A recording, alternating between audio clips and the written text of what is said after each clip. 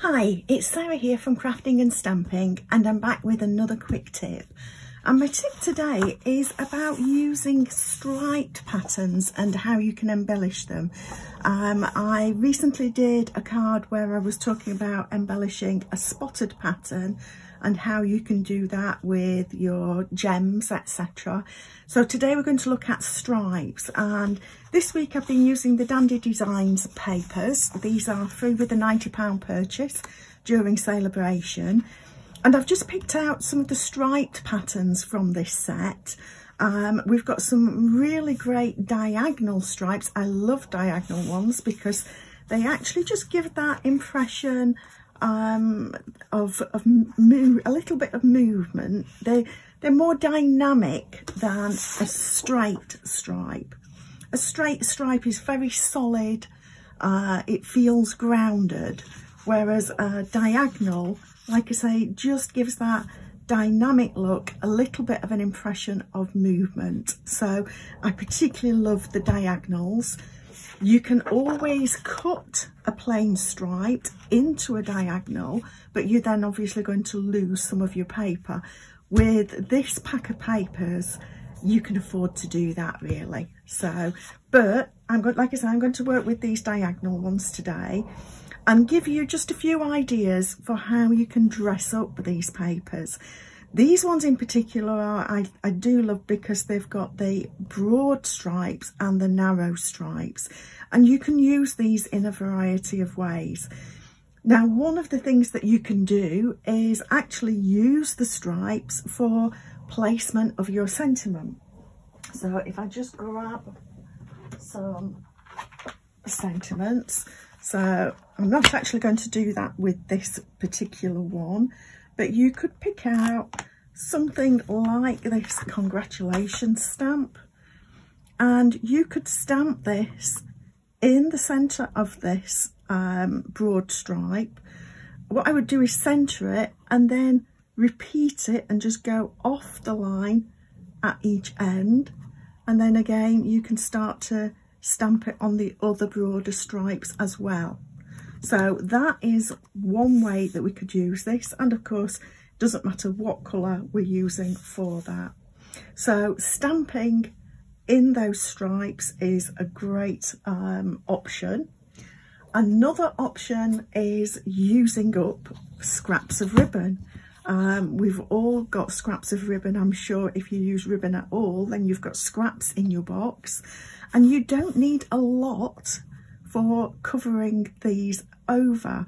And you can either put something like this a broad one in the middle of the broad stripe or you can put it over like that to create a look of it all being broad stripes. So you could put a couple of pieces of ribbon over like that.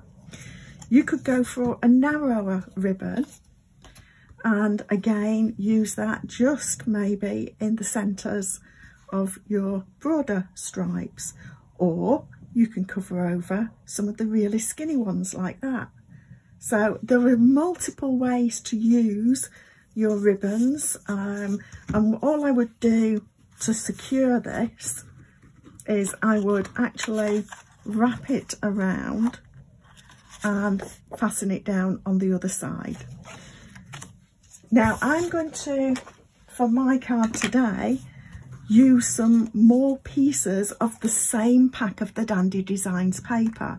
So I've cut some one inch strips and I'm actually going to place these, like I say, I'm going to put this over the top there so that it looks like it's one really broad stripe. But you could alter this, you could go for something like that where it covers over so very much and it looks almost as though you've just got a solid background. If you were to, let me just pop these on. So if you were to place these, you could create something that looks more like a solid background. But that's not what I'm going to do. I'm going to actually put it over the these ones here, like that. So I'm just going to adhere these and when I can get my seal and I find it easiest to to actually just, and I probably should have got my silicone mat because it's going to stick to other things, but we'll risk it. So the silicone mat would stop the adhesive sticking to bits that I don't want. So I'm just going to stick that across and then flip it over and use the back as a guide for cutting away the excess. So nice and easy to do. And while I'm using the other strips from of the same DSP pack for this, this is another way to use up those scraps of special foiled papers, you know, anything that's a little bit special, you've not wanted to chuck it away. It's there in your craft cupboard. Um, and it's ideal for, for these sorts of cards. So again, I'm just going to flip this over use the back of my paper as a guide.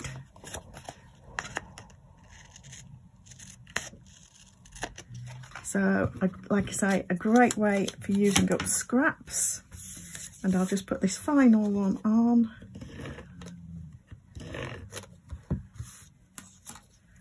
And I'm going to put this one here. And I'm just trying to make sure that I've got an even amount of that stripe above and below or reasonably even. That's not necessarily entirely straight, but it's straight enough.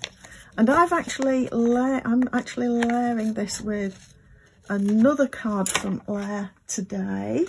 So I've gone with a balmy blue base and Coastal Cabana. Um, not a, uh, a usual sort of colour choice uh, for me, but I wanted to bring out these colours here. Um, and the green that is in the pack is actually granny apple green, but these are not granny apple green. So I've gone with the Coastal Cabana there.